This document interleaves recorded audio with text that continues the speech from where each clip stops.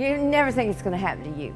Age doesn't matter. You think you're like Superwoman. Then it just suddenly. Listen to your heart.